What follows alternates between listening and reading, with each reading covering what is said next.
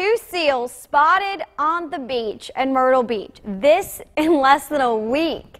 Corporal Thomas Vest with the Myrtle Beach Police Department says they're unsure if this is the same seal that came ashore on Wednesday. The second seal sighting was on the beach near 63rd Street. NOAA says harbor seals are usually found in the Atlantic Ocean from Canada to New York. So a seal sighting here in the low country is quite rare for us or Myrtle Beach.